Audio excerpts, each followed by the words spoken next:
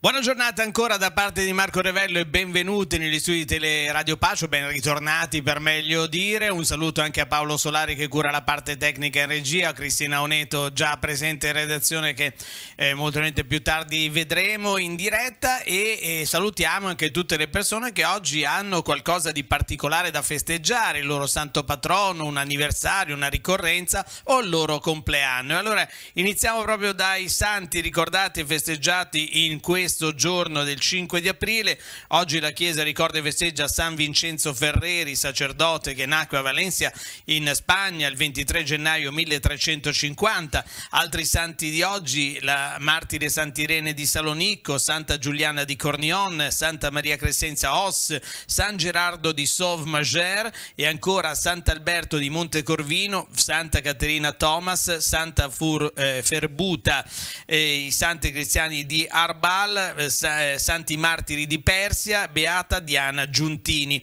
Auguri a tutti coloro quindi che oggi hanno qualcosa di particolare da festeggiare e naturalmente un augurio di un'ottima giornata anche a coloro che eh, comunque ci seguono e che eh, appunto si apprestano a vivere questa eh, bella giornata di martedì perché è iniziata con il migliore degli auspici, con il cielo sereno, con il sole già alto nel cielo e con temperature che sono ancora piuttosto rigide sono comunque al di sotto della media stagionale, però, però notiamo un aumento eh, della temperatura soprattutto in quota. Oggi abbiamo ancora mh, valori negativi, ma non più intorno ai meno 7 gradi, meno 8 gradi, siamo a meno 3.7, meno 3.7, ma abbiamo avuto una minima di meno 5.1, eh, questo ai 1785 metri del Monte Bue, meno 1.9 la minima Rocca d'Aveto, meno 3,4 a Rezzoaglio Basso, meno 4,6 a Cabanni di Rezzoaglio, meno 4,7 a Parazzuolo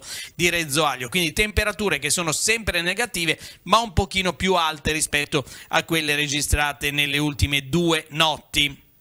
Andiamo a vedere eh, la minima di Casali Borzonasca 2.9 e poi 3.7 a Belpiano e 3.6 a San Siro Foce. 5.9 è aumentata la temperatura della Val Graveglia a Pontori, in Val Fontana Buona 2 gradi 9, siamo sempre sopra lo zero naturalmente a Favale di Malvaro, 4 gradi 9 a Pien dei Preti di Tribogna, 2 anzi 1 grado e mezzo a Pezzonasca di Moconesi e 5 gradi 4 a Villa Oneto. Veniamo sulla costa dove le temperature sono aumentate aumentate di un paio di gradi rispetto alle notti precedenti. A Santa Margherita sul porto 6 gradi e 7, 6 gradi e 2 a Rapallo sul lungomare, mentre a Rapallo nella zona interna del Golf 3 gradi e 3 sopra lo zero. Minima di 7 gradi e 2 al porto di Chiavari, mentre nella zona interna di San Pier di Canne 5 gradi e 9,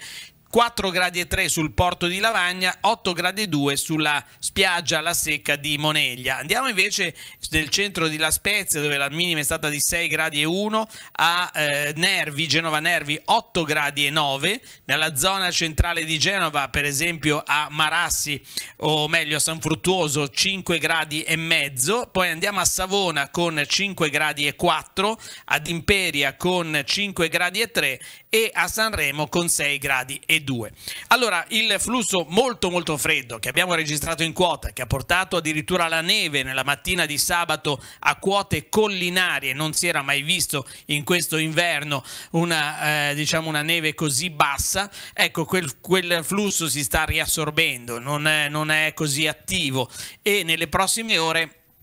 si assorbirà completamente. Questo non vuol dire un ritorno alle medie stagionali nel giro di eh, pochi, poche ore o pochi giorni, eh, continuerà comunque ancora un po' di eh, freddo, soprattutto durante le notti, però c'è da registrare l'arrivo di una nuova perturbazione che porterà soprattutto aria instabile, umida e quindi un po' meno fredda. Eh, questo impatterà eh, sulla nostra zona, diciamo, nella giornata di domani con un peggioramento momento che sarà temporaneo, cioè durerà il tempo del passaggio di questa perturbazione, ma che la limite prevede possa portare anche a precipitazioni sul nostro settore, in particolare sul centro della Liguria, ma anche sul Levante. Le precipitazioni saranno nevose questa volta a, a quote piuttosto elevate, stiamo parlando di 1400 metri, comunque la neve dovrebbe quindi scendere ancora sulla, sull'Aveto, che in questo momento comunque di neve ne ha, eh, ne ha abbastanza, come forse non si è visto in altro momento dell'inverno. Vediamo la foto che è in diretta con questa giornata molto bella, ci arriva dal Monte Bue, vedete appunto la copertura nevosa che è abbastanza uniforme anche se vediamo che non è eh, altissima, però c'è. E in altre zone eh, fino a, appunto alla settimana scorsa vedevamo invece delle, eh, così, dei prati brulli da queste parti. Allora, eh, neve che scenderà, dicevamo, a quota 1400 metri, poi dovrebbe riassorbirsi tutto nella giornata di domani, quindi giovedì dovrebbe tornare una situazione di tempo variabile. Questa la previsione, ma che vedremo in particolare in diciamo, analisi nella seconda metà del nostro programma, verso la fine, verso i saluti tra una mezz'oretta e adesso andiamo invece a vedere le, i titoli che arrivano dai quotidiani di edicola questa mattina. Siamo qui su Avvenire, l'orrore svelato delle stragi e eh, chiaramente si parla delle terribili immagini che sono arrivate da Buccia che sollevano l'indignazione dell'Occidente mentre Mosca nega e dice che è stata tutta una montatura di Zelensky, del, del eh, governo ucraino. Biden che insomma in questi ultimi periodi non si sta distinguendo per eh, diciamo essere un po' un, un mediatore ma anzi eh, insomma butta benzina sul fuoco e continua a dire cose piuttosto gravi appunto Putin criminale da processare. Eh, Zelensky è un genocidio ma dobbiamo continuare il negoziato quindi addirittura c'è più moderazione da parte di Zelensky che non di Biden. E poi sanzioni europee anche sul gas il no di Germania e Austria. L'editoriale a firma di Marco Tarquinio il solo volto della guerra benedetto chi dice no e fa altrimenti.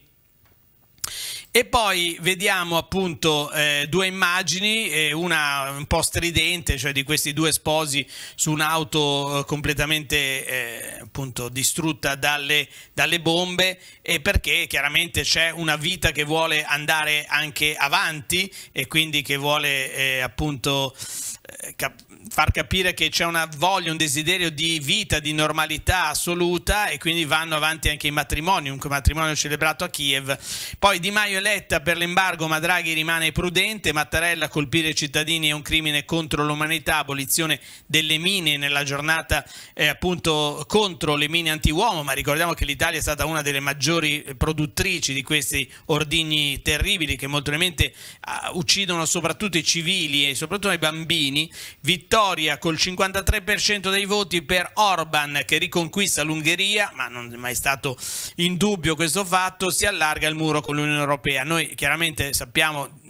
che c'è una eh, stampa completamente negativa e sfavorevole ad Orban in Europa, ma nel suo paese non è mai stato così. Eh, Francesco andrò a Kiev se conveniente per la pace, da Malta la prudenza del Papa, la fede non si difende puntando il dito. E poi un fatto molto grave, questo manifesto funebre apparso alcuni giorni fa e non era uno scherzo di aprile, di, di, primo aprile, vescovo minacciato, indagini sul manifesto a Nocera Sarno. E poi ancora appello bis per il falso, Cucchi, le condanne diventano definitive a 12 anni per eh, i i carabinieri e poi i luoghi dell'infinito, la passione e le arti ai piedi della croce, insomma come, come l'arte ha sempre eh, interpretato e raccontato i giorni della passione del Signore che stiamo per rivivere nella settimana santa che inizierà eh, appunto da lunedì prossimo. A Bucia è morta anche la pietà, questo è il titolo del secolo XIX, le parole sono virgolettate, eh, ehm, emergono nuove atrocità, Biden Putin deve essere processato per crimini di guerra, continueremo a dare armi all'Ucraina, dicono dagli Stati Uniti, l'Europa domani vara altre sanzioni ma non ci sarà lo stop al gas russo, Germania e Austria non possiamo farne a meno. E quindi diciamo l'embargo completo non, non ci sarà. Eh, ancora scende il PIL, sale la spesa verso un decreto bis contro il caro energia, la situazione economica in Europa si fa sempre peggiore, addirittura adesso le previsioni sono di una recessione nella seconda metà dell'anno, nel secondo semestre del 2022. E poi Cucchi che morì per le botte in caserma, due carabinieri condannati a 12 anni, questa è la sentenza della Cassazione, quindi per definizione sentenza definitiva. Leonardo inaugura l'Academy resa ancora più strategica per il paese dal conflitto in Ucraina, Genova la scuola per fermare gli attacchi cyber e poi Galattieri delle generali dice offensive le accuse al CDA, centrati gli obiettivi, quindi difende l'operato della eh, sua amministrazione. E poi c'è lo sport con eh, il passo falso del Genoa che ultimamente sperava in una salvezza magari conquistata all'ultima giornata, ma con la, con la sconfitta di ieri diventa davvero molto difficile. Genoa punito dal Verona degli ex, Blessing sbagliato il primo tempo, è la prima volta che Blessing da quando è sulla panchina del Genoa perde, le altre volte erano stati tutti pareggi e una vittoria. E poi l'olio di semi cambiano i menù dei ristoranti perché l'olio di semi scarteggia e il fritto ligure è austerity. Una delle nostre specialità di pesce è sicuramente il fritto del Golfo, fritto misto eh, appunto sia sulla costa che negli entroterra, il fritto misto all'italiana. E in effetti eh, i semi con cui si fanno eh, gli oli diventano eh, sempre più scarse, scarseggiano sempre di più proprio a causa del conflitto ucraino. Allora andiamo a leggere all'interno del secolo XIX olio di semi razionato e pesce a peso d'oro, la frittura scompare dai menù dei ristoranti, la corsa dei prezzi ha spinto molti gestori a tagliare il tradizionale piatto, costi alti e mancanza di materie prime, ma alcuni locali vogliono tenere duro perché il fritto è una nostra specialità, una specialità eh, soprattutto della Liguria, ma un po' di tutte le cucine marinare ma noi abbiamo anche il fritto misto, diciamo, derivazione piemontese che ha una nostra interpretazione anche negli entroterra, quindi diventa un problema toglierlo proprio da tutti i menù. I consigli dello chef, combattere gli sprechi, gli sprechi oggi è ancora più importante. E poi, visto nella stessa pagina della Liguria, stabilimenti balneari in ripresa, Genova cerca 150 addetti, anzi oltre 150 addetti, l'appello del consorzio che rappresenta 14 aziende, mancano bagnini ma anche cuochi e DJ, quindi insomma il settore balneare cerca nuovi eh, dipendenti e naturalmente soprattutto attraverso i centri dell'impiego in Liguria. Ma andiamo ad un'altra notizia che interessa, interessa la sanità eh, del nostro territorio, è stato siglato un accordo con l'ospedale di Galliera, un accordo che coinvolge in particolare l'ASL ma soprattutto il l'ospedale Nostra Signora di Montallegro a Rapallo, accordo appunto ortopedia 700 protesi a Rapallo, lista d'attesa unica con l'ospedale Nostra Signora di Montallegro, quindi Galliera e Montallegro, Toti l'obiettivo è arrivare a 1000 e su questa nuova frontiera della collaborazione tra eh, i, vari, i vari ASL e i vari ospedali, vediamo il servizio realizzato ieri dalla nostra redazione. Va a regime la sperimentazione avviata da qualche mese che coinvolge Ospedale Galliera e ASL 4 per incrementare l'offerta di prestazioni ortopediche, la creazione di una lista di attesa unica per accedere agli interventi di chirurgia protesica dell'arto inferiore. Abbiamo iniziato da qualche mese con un'attività legata all'equipe del dottor Mazzola che periodicamente, settimanalmente anzi, veniva qua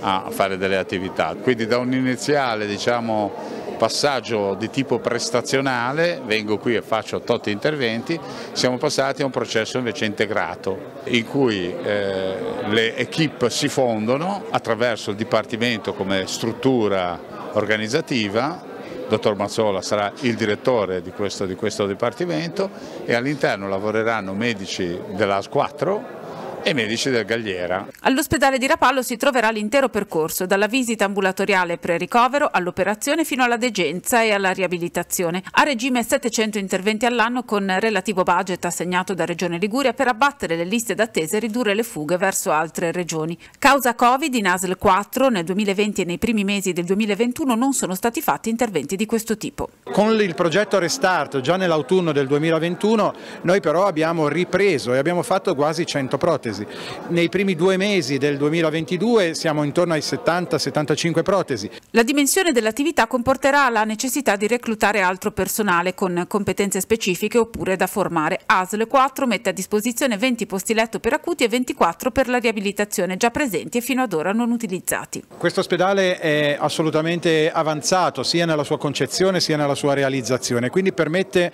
un funzionamento assolutamente idoneo a questi percorsi. Tant'è vero che noi non abbiamo dovuto dovuto compiere lavori, semplicemente decidere di utilizzare delle aree per il percorso chirurgico e delle aree per il percorso riabilitativo. Il modello organizzativo che va a sistema oggi fra Galliera e ASL 4 è lo stesso che viene replicato altrove. In questo modo viene valorizzata una struttura, quella dell'ospedale di Rapallo, fino ad oggi sottoutilizzata. Eh, Rapallo è destinato ad essere uno dei grandi hub di smaltimento delle nostre liste d'attesa, in collaborazione con il Galliera perché è giusto che tutte le nostre eccellenze contaminino anche le altre, eh, le altre aziende gli altri territori, così come stiamo facendo con il San Martino e Santa Corona, così come faremo ancora con il Galliera eh, nel Ponente, così come stiamo facendo per le pediatrie con il Gaslini dal primo eh, di luglio. Io credo che tutto questo darà maggiore produttività a ogni singolo presidio ospedaliero e migliori servizi ai cittadini. Allargando il discorso appunto eh, sul, proprio sull'ospedale di Rapallo, leggiamo sempre dal secolo XIX di oggi, i nodi da sciogliere sono gli spazi al pian terreno che una volta ospitavano il primo intervento e 30 posti letto. A questo punto rimangono due punti nodali, dice appunto il secolo questa mattina, al piano terra dove, tornerà, dove non tornerà più il primo intervento, è stato chiuso in occasione del Covid e non verrà riaperto, e i 30 posti che ormai da anni si presume vengano assegnate in gestione ad un soggetto privato. Al piano terreno è prevista una casa di comunità, servizi ambulatoriali e di presa in carico di problematiche di pazienti senza carattere di emergenza, assimilabile ai codici bianchi del pronto soccorso, quindi una specie di ambulatorio eh, di medici che possono prendere in carico degli, dei casi che non sono appunto dei casi di vita o di morte o dei casi gravissimi da, eh, da eh, diciamo sono sbucciature, cose di questo genere o comunque piccoli piccoli, piccoli malanni. Secondo quanto eh, il Presidente della Regione dice, il tutto si dovrebbe concretizzare l'anno prossimo.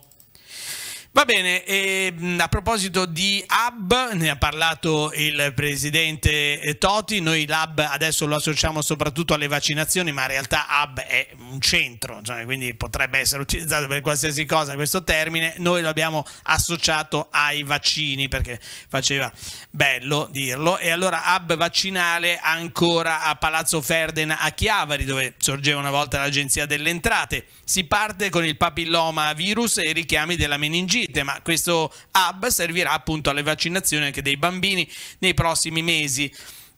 e quindi riparte un po' tutta l'attività di eh, vaccinazione anche di malattie che non c'entrano nulla con il coronavirus e che sono vaccinazioni comunque obbligatorie o facoltative ma eh, caldamente consigliate. Ritornano le gite scolastiche ma rigorosamente made in Italy, il Marconi del Pino di Chiavari fa da apripista, 13 classi andranno tra Milano, Assisi, Perugia, Padova e Verona, tanti istituti preferiscono uscite di un solo giorno per il momento senza eh, appunto l'impiego di eh, al, alberghi, eh, mete raggiungibili in treno o in pullman, insomma le classiche gite scolastiche, visite di istruzione da un giorno, ma comunque diciamo che si ritorna ad una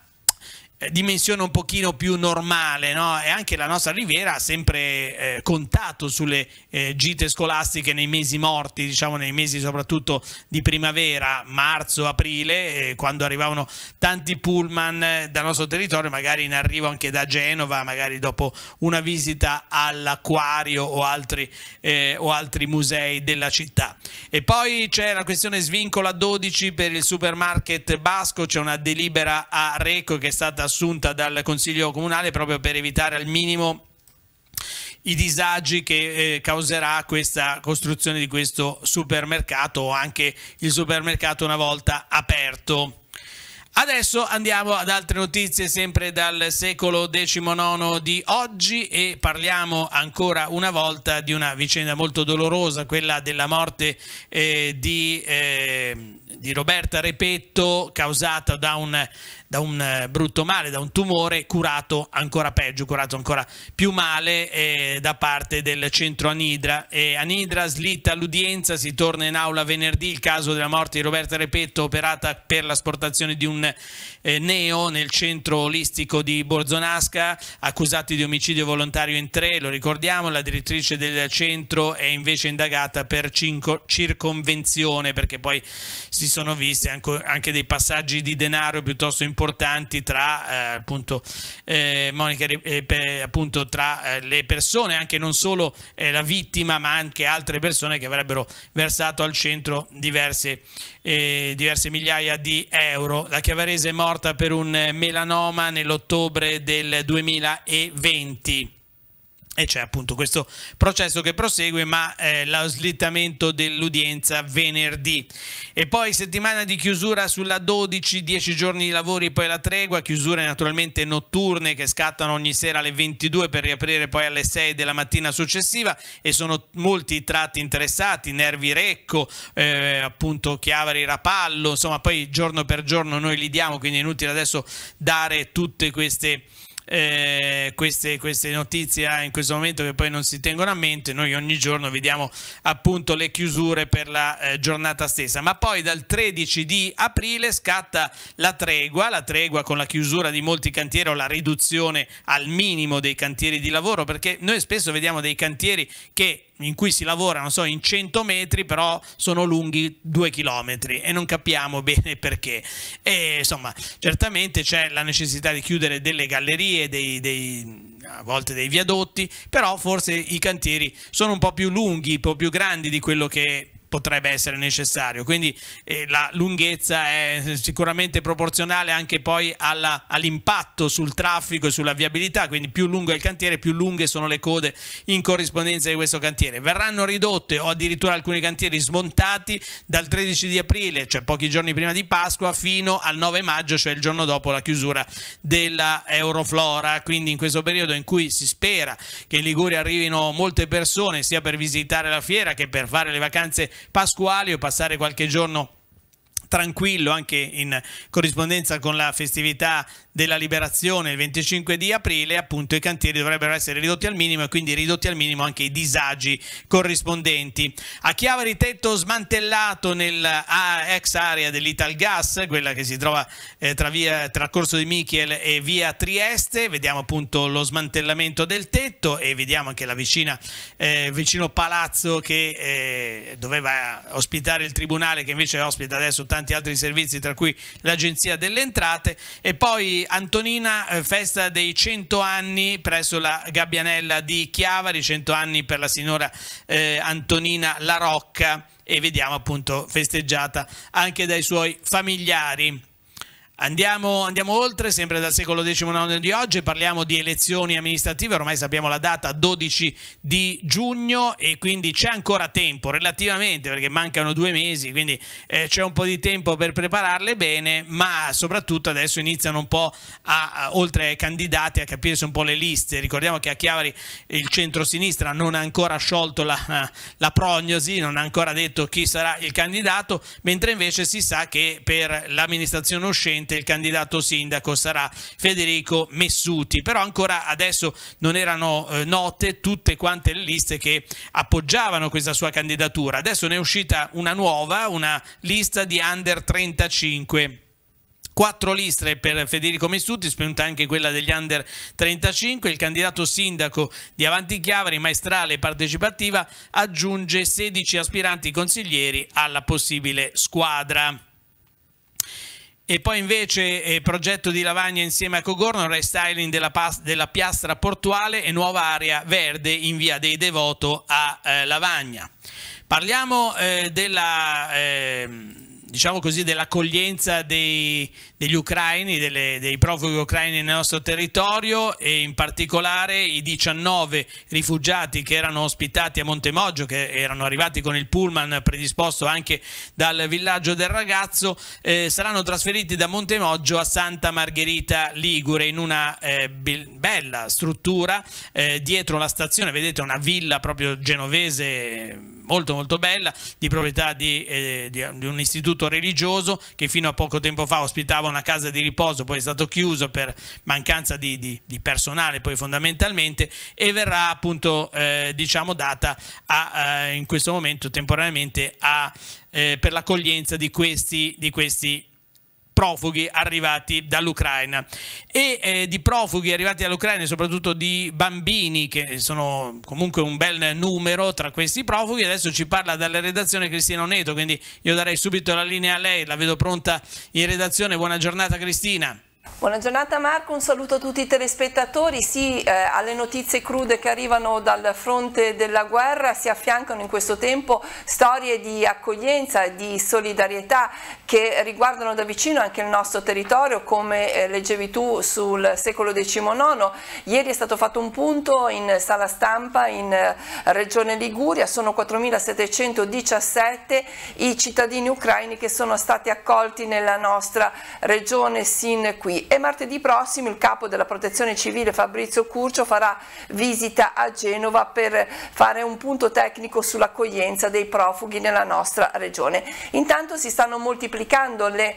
iniziative per inserire soprattutto i giovani, i ragazzi e i bambini all'interno delle varie attività, eh, dalle attività scolastiche anche a quelle sportive. È stata inviata una lettera firmata da Regione Liguria e dal Comitato regionale CONI Liguria Liguria alla eh, comunità ucraina eh, sollecitando appunto l'invito a partecipare alle attività sportive e contemporaneamente sono state sollecitate le società sportive del territorio ligure ad accogliere questi ragazzi perché possano continuare le loro attività che probabilmente svolgevano già nella loro patria ma anche per offrire loro un momento sereno di condivisione e di svago e di gioco con i loro coetanei. Sentiamo il punto di questo accordo con gli interventi dell'assessore regionale allo sport Simona Ferro e del presidente eh, regionale della Liguria del CONI Antonio Micillo. Poi la linea torna allo studio.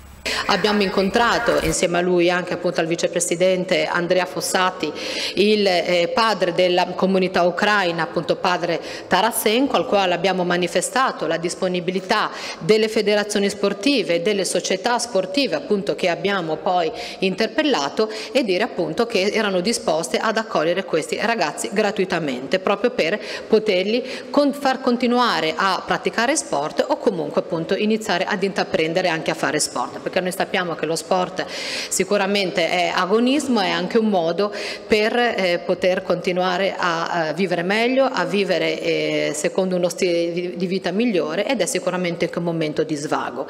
Noi cosa abbiamo fatto? Abbiamo sentito, abbiamo scritto insieme all'assessore a quattro mani il, una lettera alle nostre federazioni, discipline sportive associate di promozione, stanno arrivando le, le risposte, sono una lettera è andata via 3-4 giorni fa, eh, alcune federazioni stanno raccogliendo i dati, per esempio ho avuto una grande sensibilità da parte della, della danza sportiva per dire che sembra banale, invece non è proprio banale per niente, o del tennis e così via, ma anche le piccole federazioni. Grazie a Cristina Oneto e naturalmente ne parleremo ancora nel corso dei nostri appuntamenti informativi della giornata, il prossimo alle 12.45 e anche il sindaco di Camogli, eh, Francesco Olivari, invita i ragazzi arrivati dall'Ucraina alla sagra del pesce dell'8 di maggio. Vi aspettiamo l'8 maggio, siamo orgogliosi di contribuire alla vostra cittadinanza, un po' in polemica con un, un emendamento eh, della Lega che vuole inserire appunto nel test per dare alla cittadinanza cittadinanza agli, agli, immigrati e ai profughi anche la conoscenza delle sagre e sicuramente la sagra del pesce di, Zo di Camogli è una di queste, la sagra del pesce festa dello Ius Scoli, vabbè insomma un po' di polemica politica ci vuole, un po' di scontro politico, ne sentiamo tanto le, la mancanza in questi, questi ultimi mesi. Storie sconfinate a Liceti per raccontare l'immigrazione, un altro tema appunto che racconta eh, di quello che è un po' il movimento migratorio nella storia, nei secoli e poi ancora un un, podcast per ricordare la giornalista Ilaria Alpi, fondi alla scuola media, finanziato un progetto per rendere omaggio all'inviata uccisa nel 94, inviata della RAI di RAI 3 a Mogaditi e del TG3 a Mogadiscio, aiuti dal Ministero anche per la realizzazione degli orti sociali. E poi ancora dal secolo XIX, Verdemare la difesa degli amministratori, il caso Recco e ancora Borgo Storico e lavori, Uscio punta sul piano nazionale nazionale di ripresa e resilienza per alcuni interventi e alcune opere pubbliche. A Castiglione approvato il bilancio e il piano delle opere per il 2022, ancora a Camogli navetta gratuita prorogata fino al 15 di aprile, eh, la conferma è arrivata appunto dalla MT e ancora Punta Chiappa continuano i lavori in via San Nicolò fino a Punta Chiappa, eh, appunto lavori di mitigazione del rischio idrogeologico. Andiamo a vedere l'agenda di Telepace con tutti gli appuntamenti previsti per questa giornata di martedì.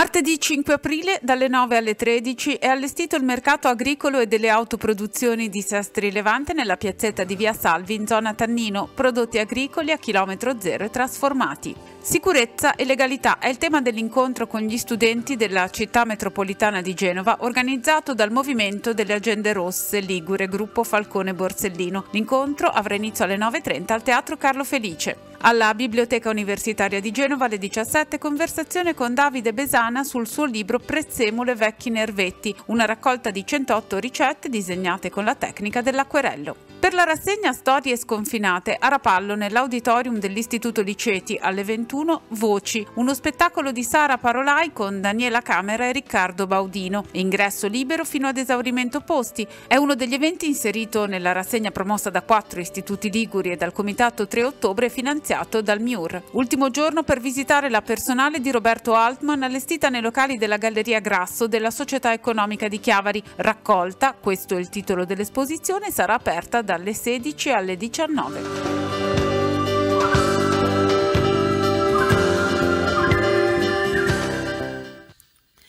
Oggi il secolo riparla anche della questione della raccolta, della raccolta dei rifiuti, differenziata o non, eh, dei rifiuti in toto, che sarebbe gestita dall'AMIU per tutta la città metropolitana di Genova, quindi anche il Tiguglio diviso in due fasce. Invece i sindaci chiedono una gestione autonoma, la gestione deve rimanere ai sindaci. SOS ai consiglieri liguri perché si facciano portavoce di questa posizione all'interno del Consiglio regionale. Martedì prossimo nuovo incontro incontro per elaborare un ordine del giorno da portare in tutte le assemblee dei eh, consigliari delle varie città. Se Galerba, la regione, gestisca gli impianti e non la, eh, appunto, la raccolta dei rifiuti, Ghio non si ripete al caso pediatria. E ancora il vice sindaco eh, di Zoagli per due mesi pesa la spazzatura prodotta dalla sua famiglia per avere un punto di riferimento, una prova per capire come vanno le cose, cosa eh, casa mia incide per 100 470 kg l'anno, insomma, non sono pochi, eh, come, eh, se li trasportate tutte insieme sono un bel peso. Allora andiamo adesso invece a darvi qualche notizia per eh, le prossime ore, cioè le previsioni meteo elaborate dalla Limet, la, la, rete dei meteorologi liguri. Come vedete appunto alle mie spalle il cielo è sereno, non ci sono problemi, oggi eh, la giornata andrà avanti in questa maniera, quindi con il sole, con temperature che ancora sono piuttosto basse ma che poi via via nel corso delle ore potranno in qualche modo anche mitigarsi grazie anche al sole, all'aria di mare che non è più così fredda come nei giorni scorsi perché abbiamo sentito il flusso eh, freddo si sta riassorbendo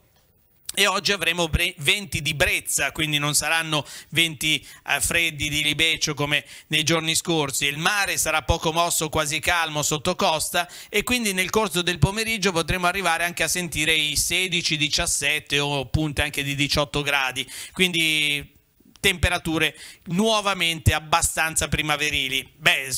cos'è la settimana scorsa abbiamo sentito anche i 22 gradi, ma è stata una punta un po' così eccessiva. Per quanto riguarda invece domani, la Limit prevede l'arrivo di una perturbazione, quindi domani la situazione cambierà notevolmente con cielo nuvoloso su tutta la regione e la possibilità di precipitazioni che eh, per quanto riguarda eh, diciamo, i, tutti i territori al di sopra dei 1400 metri potranno essere anche a carattere carattere nevoso, quindi quota neve intorno ai 1400 metri. Le precipitazioni saranno soprattutto nella seconda parte della giornata, quindi al mattino soltanto aumento della nuvolosità e poi nel corso del pomeriggio i fenomeni che esauriranno si esauriranno nel corso della serata. Venti inizialmente deboli variabili che si disponderanno da sud sul Mar Ligure e a Levante al massimo moderati, mare da poco mosso a mosso e temperature in aumento, eh, soprattutto le minime della prossima notte, in leggero calo invece le massime. Per quanto riguarda giovedì invece avremo una situazione di variabilità, ma naturalmente tutto questo è da confermare, quindi seguite eh, le nostre previsioni anche nelle prossime ore e soprattutto le previsioni serali nel corso del Tiguglio eh, del TG appunto Tiguglio oggi e, naturalmente poi domani mattina daremo una situazione più particolareggiata sempre grazie alla Limit. Così termina la rassegna stampa, il TG di questa mattina. Un ringraziamento a Paolo Solari Solari che ha curato la parte tecnica e regia, Cristina Oneto che è stata con noi in redazione, a tutti voi che ci avete seguito. Come detto prima, il prossimo aggiornamento alle 12.45, noi vi aspettiamo domani mattina da parte di Marco Revello, l'augurio di un'ottima giornata.